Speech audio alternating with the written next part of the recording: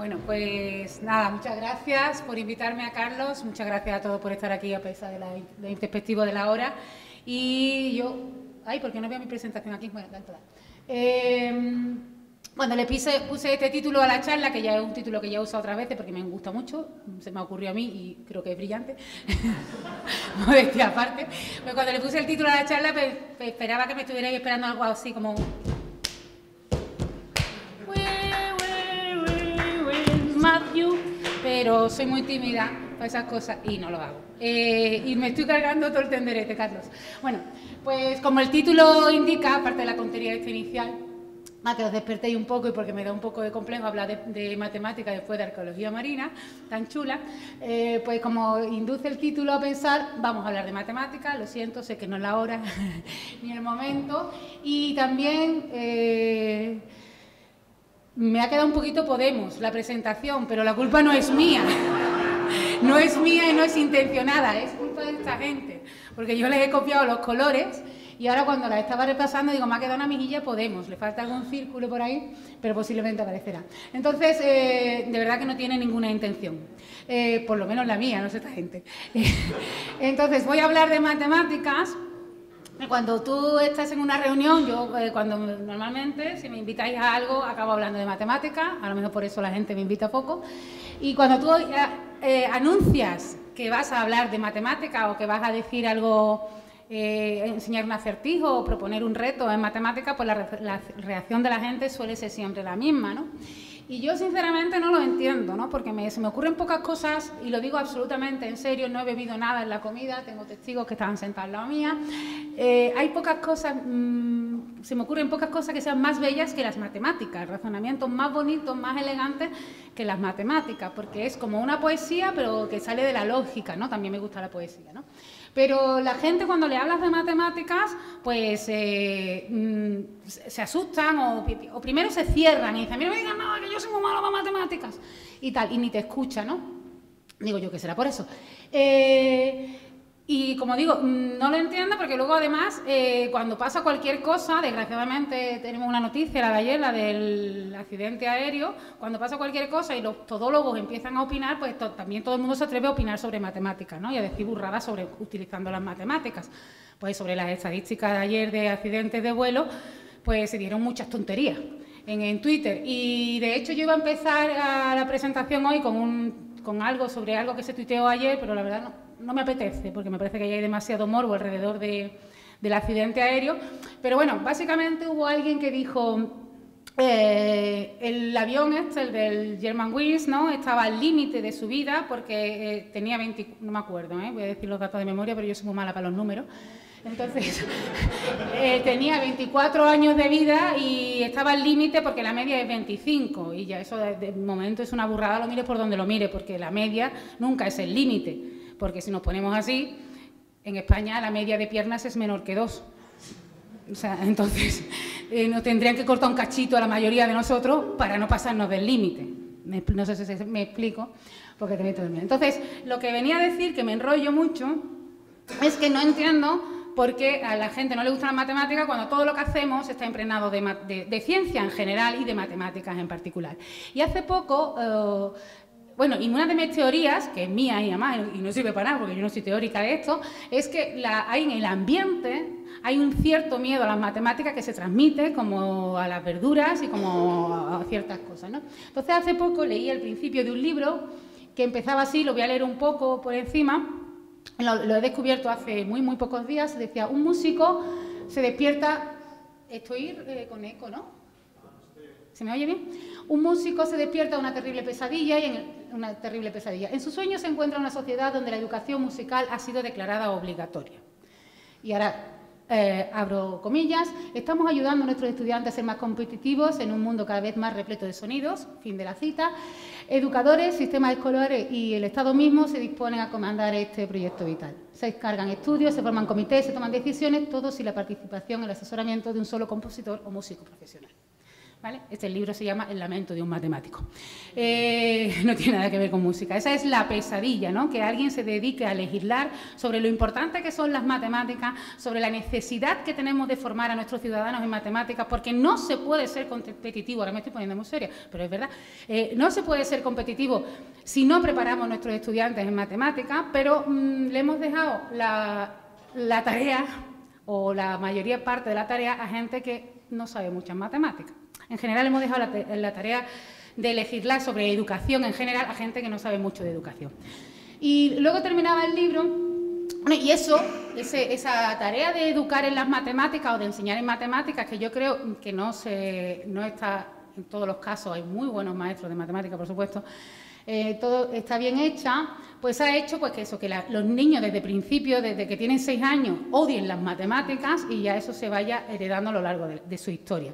A mí me hace mucha gracia en la puerta del cole cuando me dice una madre, a mi hijo se le damos mal las matemáticas al pobre. Y yo con seis años, o sea, se le da mal sumar, o sea, no sabe matemáticas. No le puede, lo que tiene el niño, en mi opinión, que no soy especialista, es eh, tu miedo. O sea, ha heredado, como decía Serrat, ¿no? La canción de los locos bajitos, les ha heredado tu miedo a las matemáticas, porque un niño con seis años no puede tenerle miedo a las matemáticas, entre otras cosas porque nadie le ha enseñado todavía matemáticas. Eso no es matemática, eso es sumar. Y si estuviera en la calle jugando con piedras o con canicas, lo habría aprendido él solo. O sea que eso. Entonces, al final del libro hay una frase muy bonita, me gusta mucho de este mismo libro. El libro termina con una frase como dice, bueno, esto es lo que hacen normalmente lo, lo que recomiendan los expertos en en educación en nuestro, país y sobre todo cada vez más, falta un crucifijo, pero no, he encontrado fotos con crucifijo.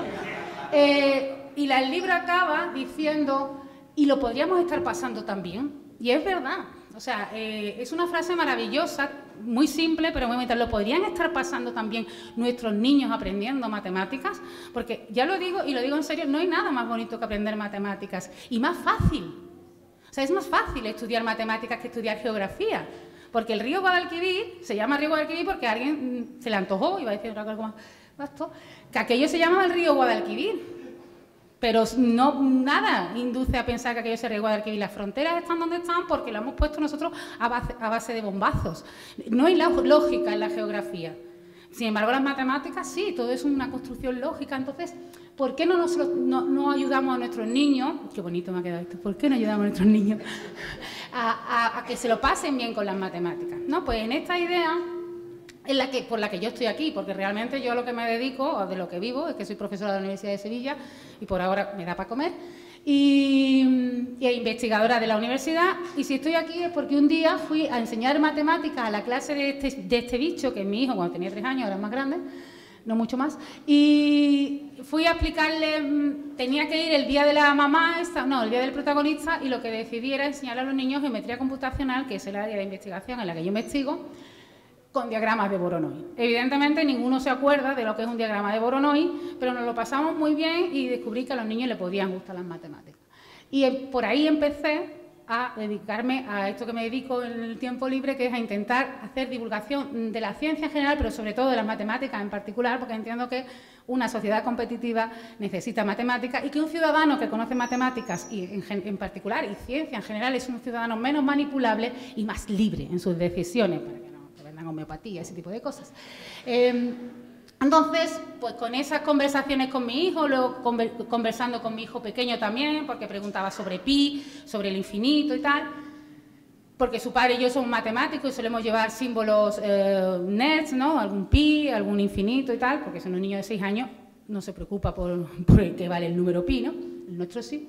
Eh, digo yo, somos, vamos, por, culpa de sus padres, ¿no? Que son gilipollas, son nerds, o como queráis llamarle, ¿no? Entonces empecé, y a, partir de una historia que no voy a contar porque no tengo tiempo, conocí a una ilustradora y dijimos, vamos a hacernos un blog. O sea, vamos a enseñar matemáticas a los niños, vamos a enseñar matemáticas de una forma divertida, como se tienen que enseñar las matemáticas, porque es que las matemáticas son una cosa muy bonita y muy divertida y muy chula. Entonces hicimos un blog que se llama Matisum Mate Aventuras, donde la idea era eso, vamos a contar las matemáticas.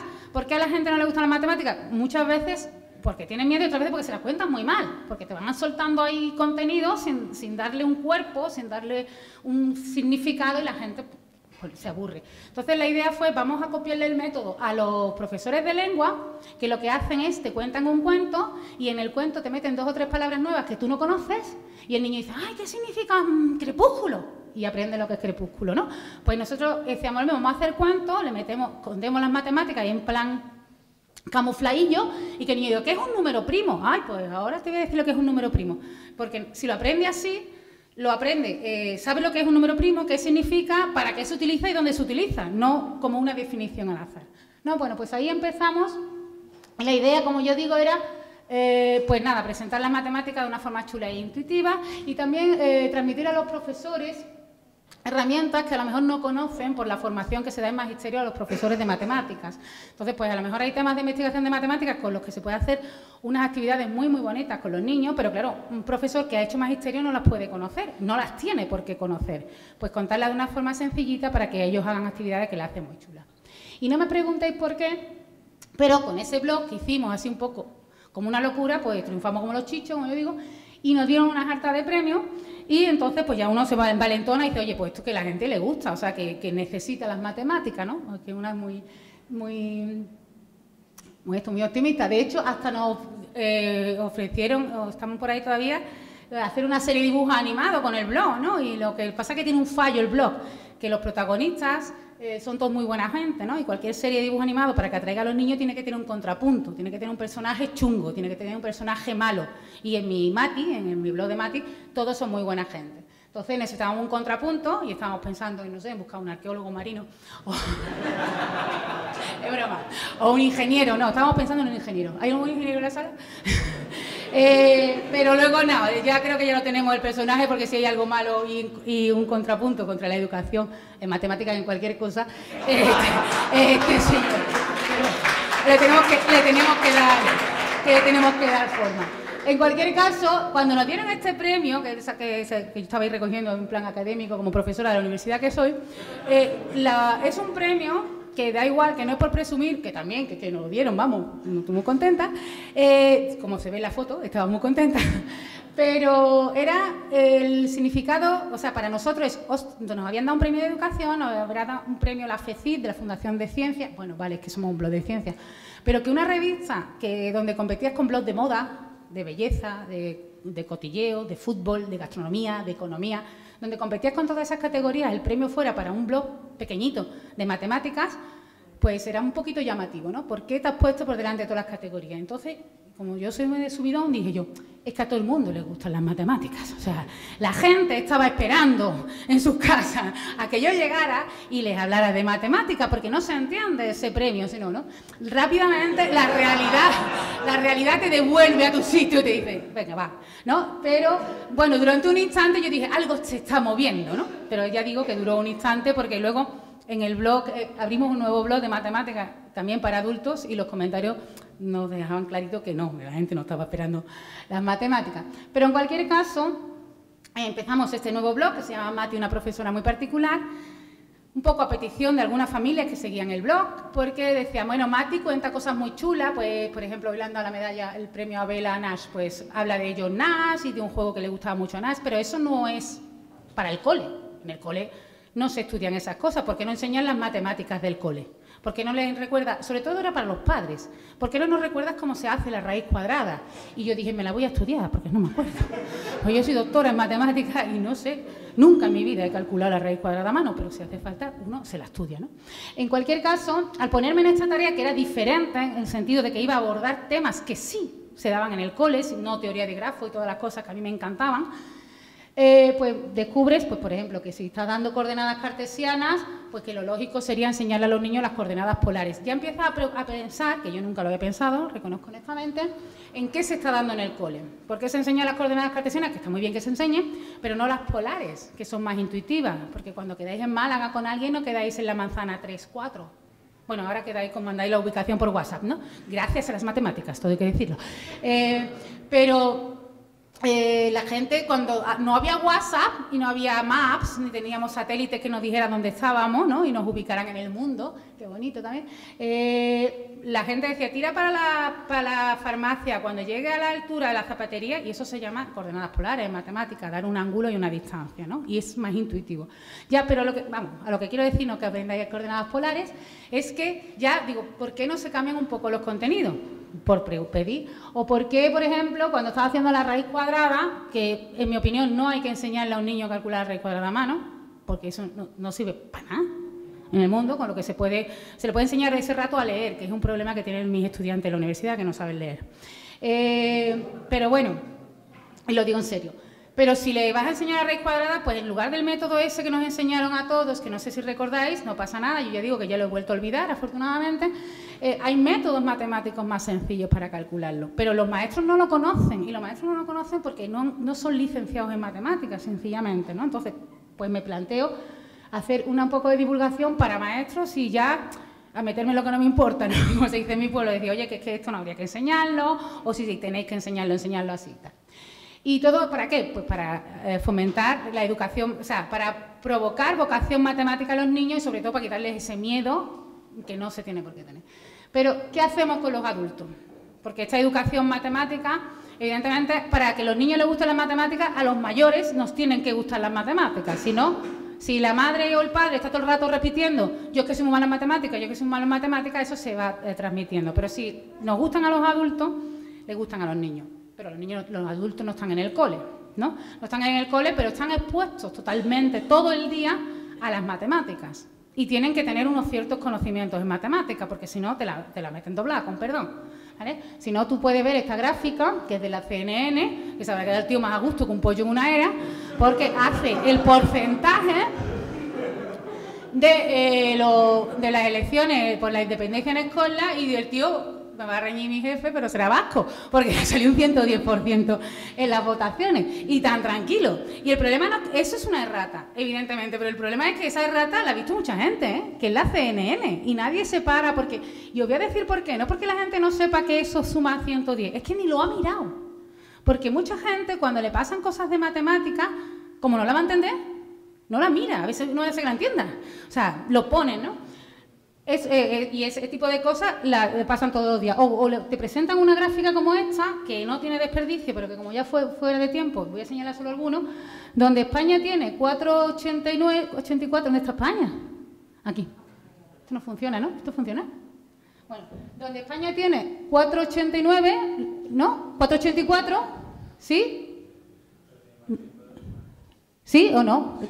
Pero la, y eh, la Unión Europea 489, pero nuestra barra es más larga, con dos, con, dos, eso, con criterio, con criterio, con marca España. Bueno, si os fijáis en las proporciones ya tampoco tiene desperdicio, pero como digo, no me no puedo parar. Entonces, eh, la gente, esta se la cuela, porque claro, además son gráficas que dan imágenes visuales, de idea de qué está pasando. Tú no te pones a mirar los datos, ni yo. De hecho, con lo poco que yo veo, si me ponen eso en Antena 3, yo tampoco lo detesto, no sé que alguien en Twitter me mande un pantallazo, que es lo que pasó, ¿no? Porque, tú te mandan la información, tú te quedas con la información visual, pero si no la analizas, te la tragas.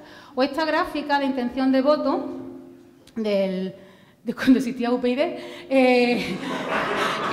que, que tampoco, perdón, que tampoco tiene desperdicio, entre otras cosas porque están todas las líneas pintadas del mismo color, cosa que no se debe hacer al presentar una gráfica. Tú no puedes pintar toda la gráfica del mismo color, porque si no, aquí, después de este cruce entre el PSOE y el PP, ¿qué ha pasado? El que sube para arriba, ¿quién es el PSOE o el PP? Hay una tijera, o sea, pero, lo más interesante es, bueno, tampoco tiene desperdicio, ¿eh? Estoy señalando todo el rato cuando esto no funciona, ¿no? Que el 34,7 de, del PP está más bajo que el 34,1. Pues no pasa nada, aquí cada uno lo pone como le da la gana. Eh, bueno, eh, os podéis entretener un rato con cualquier gráfica, ¿no? Entonces, eh, esto es que, pues, ay, mira, sí que funciona. ¿Qué hacemos con el anumerismo? El anumerismo es un término que acuñó, bueno, en realidad Hofstadter, pero que lo hizo popular. ay, se me olvidó el nombre. ¿Cómo se llama? Paulos, Paulos, Paulos, uy, se me ha ido el nombre que es incultura matemática básica, básica, pero yo en este caso digo que esto no es más que numerismo, me parece que es manipulación, y la prueba está en esta gráfica, que esta es muy, muy nueva, con los datos del paro, que con esta nos cuelan unas pocas, donde 400.000 está por encima eh, de 4 millones y medio y demás, que estos son 2 millones, porque lo digo yo, pero estos son 400.000.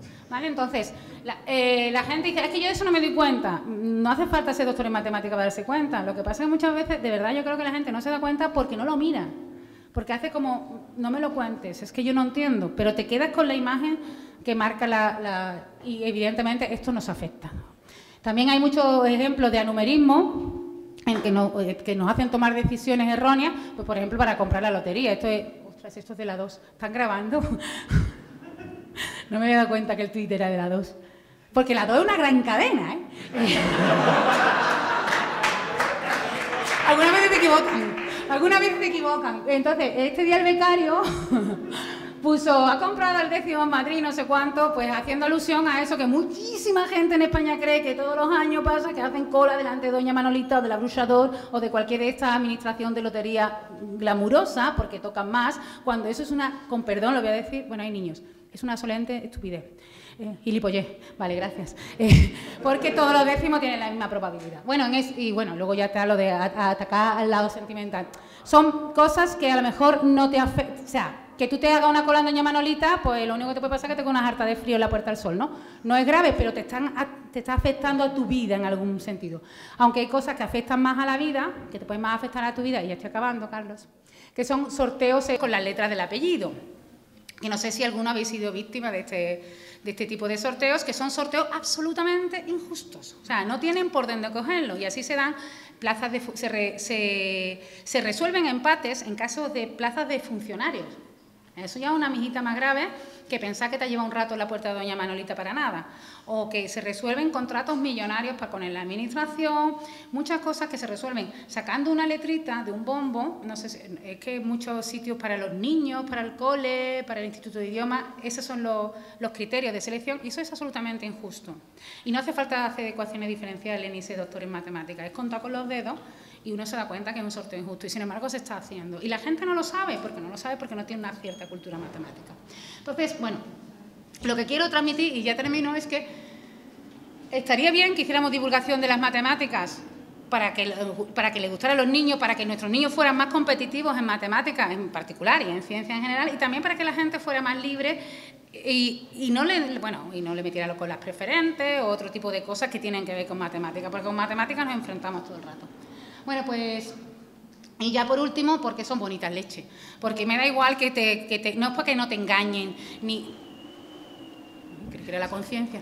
Eh, no es que, es que son muy bonitas y estamos rodeados de matemáticas que cuando te vas a hacer un PET, espero que no tengáis que hacer muchas veces un PET porque si te mandan un PET es que hay sospecha de algo muy chungo, pero si te hacen una, tomografía por emisión de positrones, eso fue una ecuación, una ecuación que este señor, eh, Cirac, estaba buscando las soluciones y descubrió, uy, coño, que tenía, eh, cáspita, que tenías dos soluciones, la antimateria. Y va el tío y, descubre el positrón. Y gracias a eso ahora, ya digo, pero que no vayáis, pero detectan cánceres. O sea, que hay matemática en todo lo que hace. Hay matemática cada vez que tecleas Google. No hay ningún enano buscando dentro de Google. Hay un montón de matrices a las que se le calculan autovalores, autovectores y un montón de matemáticas. Cuando tecleas eh, Belén Esteban en Google y sale Belén Esteban, desgraciadamente en Facebook, en las redes sociales, eh, en tu GPS, por supuesto, no existiría si, si no tuvieras matemáticas. Yo me, sorprende mucho que la gente, no vosotros que tenéis, si estáis aquí, estáis, tenéis cierto interés por la ciencia, que a la gente le importe más dónde se vende el pijama de Belén Esteban que entender por qué cuando le hablan a su móvil, el móvil escribe. Ostras, eso ¿Eso cómo se hace? Eso es fascinante. ¿no te lo... Pues eso se hace con serie y furia, que son matemáticas, ¿no? O sea, mm, comprender la vida, ¿no? Entonces, en la última parte que yo quería decir, de, aparte de que no te engañen, aparte de ser una persona más libre por tener unos ciertos conocimientos, es que son chulas, ¿no? Bueno, pues de todo esto hablo donde me dejan, escribo donde me dejan y eh, si queréis leer algo de mate de lo que yo hago, y hay muchísimo más, también podéis poner divulgación en matemáticas y salen divulgadores más mejores en claragrima.com y como decía al principio, y ya me voy, que me están mirando mal, os vamos a matear, os vamos a enseñar matemáticas por cojones. Bueno, muchas gracias.